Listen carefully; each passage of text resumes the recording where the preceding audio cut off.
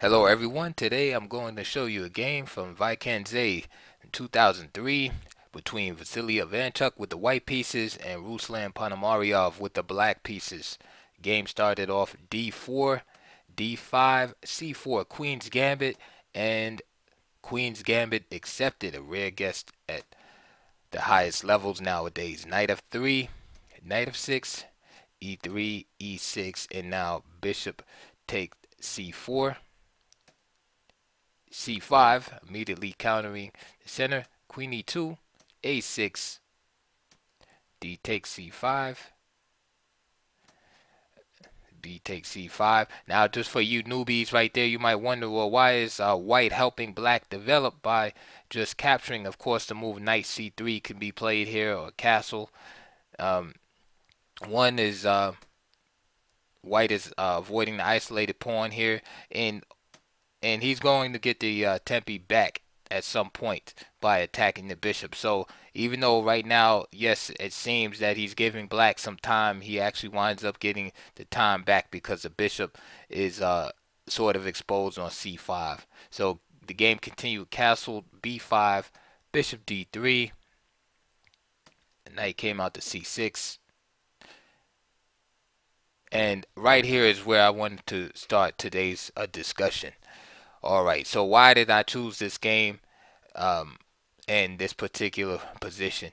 The reason why I chose this particular um, game, it's a nice game, a short game, and also uh, because of the symmetry in the position.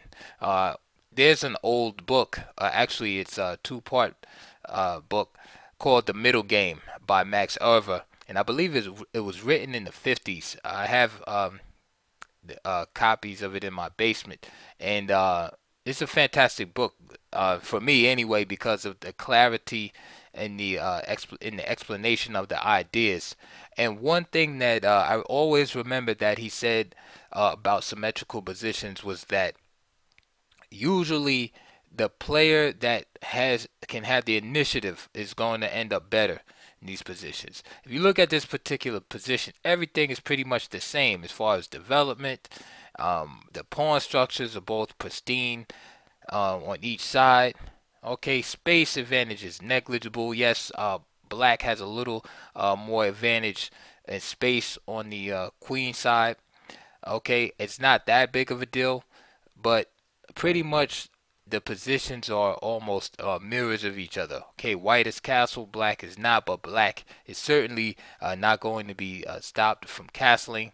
All right, they both have access to the same open files in the uh, C uh, and D files. Okay, of course, material is even. Nobody is uh, gambited upon. There's no direct threats in the position, etc. So when you have positions like this, where it seems like it's rapidly heading for a draw due to the symmetrical nature. nature. Remember that if you can gain an initiative, okay, and stay one step ahead of your opponent, this can often lead to an advantage in the position. And this is exactly what these uh, players are playing uh, for in this position. So with that in mind, let's continue. The game uh, continued on move 10. Ivanchuk played rook d1. Notice already pursuing the initiative. Okay? Placing the rook on the d file and already uh, threatening a discovered attack on the queen. The queen goes to c7, a4. Okay, causing more trouble in paradise. Already threatening to take on b5. You see, white is pursuing the initiative by attacking black and not allowing black to uh, complete his development in an easy manner. Okay, knight bd2 of course is a normal move that is played in these positions also. But I like Ivanchuk's move because he's fighting for the initiative here. Black has to do something about this. Either he can capture here and then he has to deal with this constant pressure on the A pawn.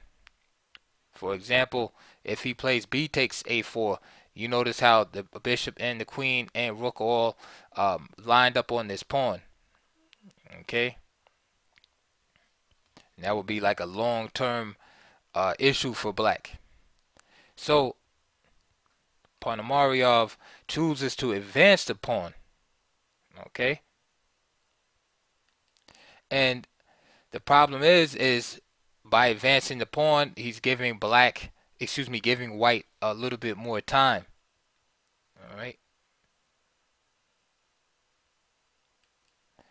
Back to bishop takes a4. Again, rook takes knight b4. Check. This was actually played in um, Botvinnik and uh, Flohr back in 1933. But you can see the problems that black faces uh, in the position here. Queen b5 is another option. Queen b7, bishop c3, castle was played. But again, the theme is the same is that black has these long-term issues if he takes on a4 with this uh, a pawn and also having troubles down the c file where his queen is located. Notice how white's queen is protected and safe behind this e pawn where black's queen has some difficulties in finding a nice uh, retreat. Knight bd2 and notice also, I forgot to mention that with the advance of this pawn, new we new um, squares have been uh, created for white, and it's good because this pawn, okay, was uh, keeping the white pieces off c4. So with that advance, uh, this pawn controls c3 here, but gives up the control of c4 bishop b7 knight b3 and remember I was telling you earlier about gaining time against the uh, bishop here when I said, well, why is white helping black develop? Well, again, now this has to be addressed. Here, Ponomariov elects to play the move knight a5 and give up the bishop here. All right. Uh, he can keep the bishop pair with a bishop d6, but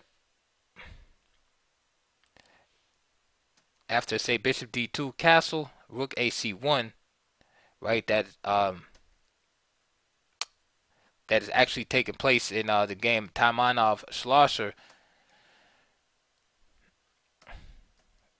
He remains under pressure here.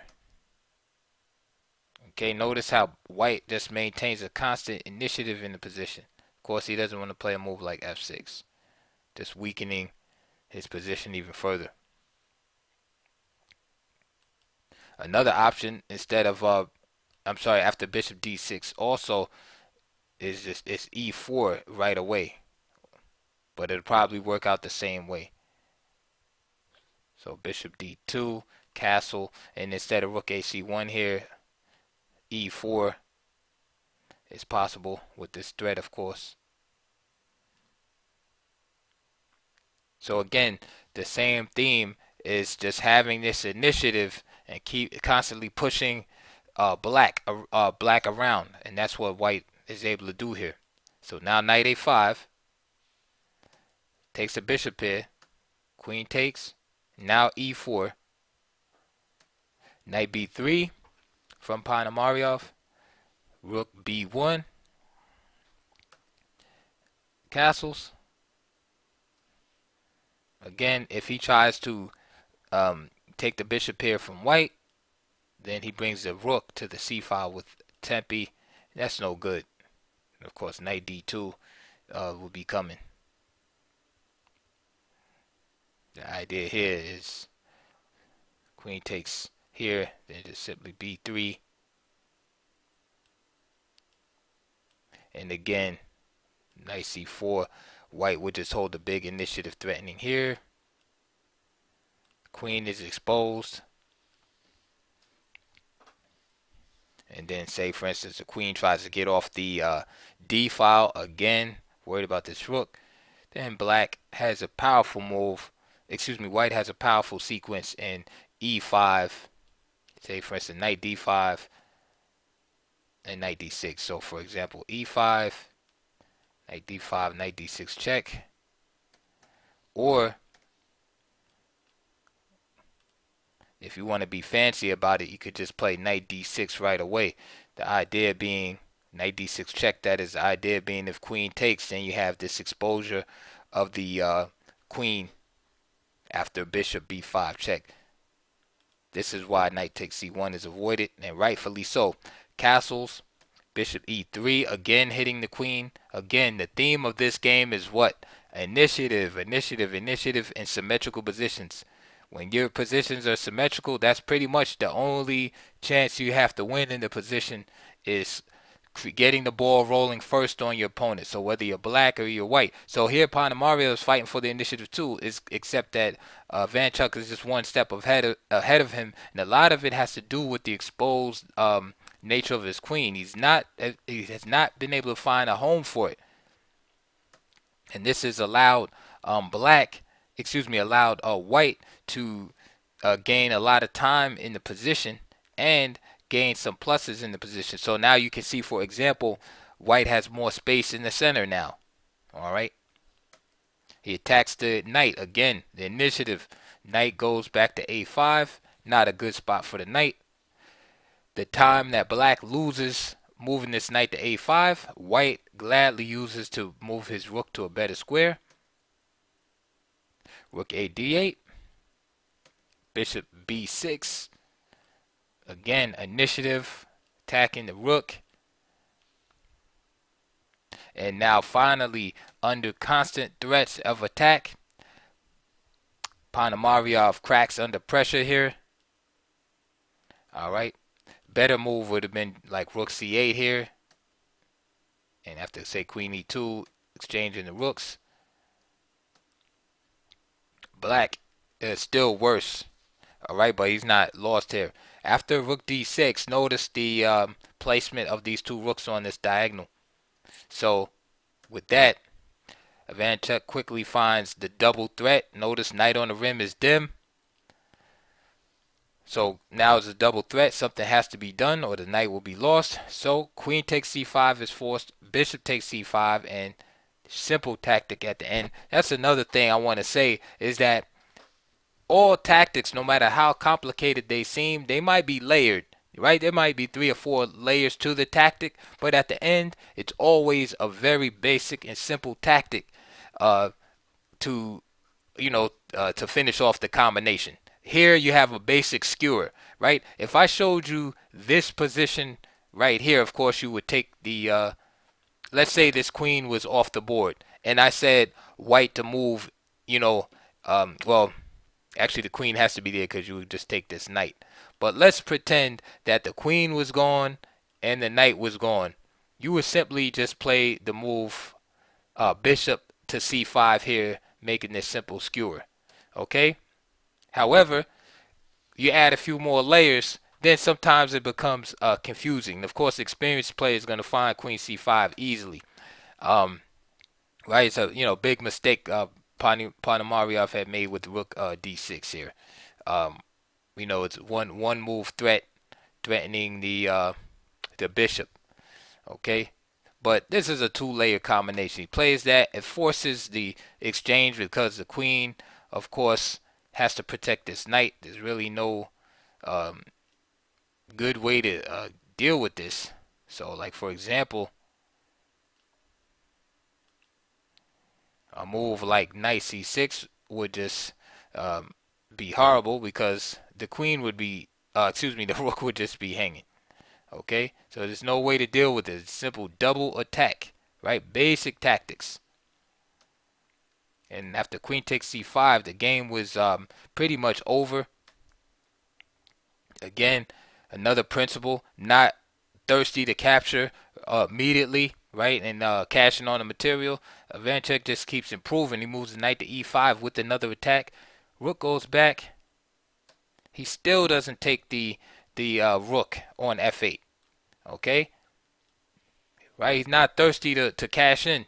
He's still pressuring the, the position. Because this knight is so bad here. Alright? Knight b3. Rook c3 attacking the knight again. He still hasn't cashed in on the rook. Finally, rook fe8. So Ponomariov decides to give up an entire piece. Bishop takes e4, Of course, there's no compensation here. F3, bishop F5, rook D2. Of course, the rook is uh, unprotected here, so Ivanchuk just make sure that's uh, straightened out. Rook B8 and bishop takes A6. Ponomariov uh, resigned. All right, so devastating game by uh, Vanchuk. Nice miniature under 30 moves. Again, look at this position, this final position here, where white is just totally um, has totally obliterated black, blew him off the board, has a bishop pair, two pass pawns uh, on the side, up three pawns in the game, and up a piece, right? Contrast this position to this symmetrical position we had earlier here. Okay? How did that happen? Ask yourself, how did that happen? It happened because White was able to develop an initiative early in the game. Okay? So when you're in symmetrical positions, that's your lesson for today. When you're in symmetrical positions, unless you want to draw, you must you must search for for the initiative. You must search and fight for the initiative. And the way Ivanchuk was able to do it today against this uh, Queen's Gambit accepted was attacking, okay, the uh, extended uh, queen side of black, namely the B pawn, and also exploiting the positioning of the black queen on the open C and D files, and also exploiting the uh, hanging bishop on c5 and of course during the end the the bad knight on the rim right? Remember that old term right? Knight on the rim is dim right? Then boy did that knight on a5 lead to some uh, troubles. Another lesson you could pick up from the game too is notice how Ivanchuk was not quick to cash in the exchange. Just play bishop takes uh, you know rook when he had the chance but he kept attacking kept um, improving his pieces until Ponomariov was just forced to give up a knight, right? Just imagine that 2,700 grandmaster just forced to give up, give up a piece like that, and um, uh, lose the game in such an uh, ignominious manner. All right, so that is it for today. I uh, hope you enjoyed that video. Uh, again, please comment below. I like hearing the feedback, any suggestions as far as like going over games or openings or anything, end games middle games, what have you. Uh, I'll do it. And um, please check my links below. There will be um, some uh, information regarding uh, this opening as far as DVDs, books below. Please donate and support uh, my channel. I appreciate it very much. And I will see you guys on the next video.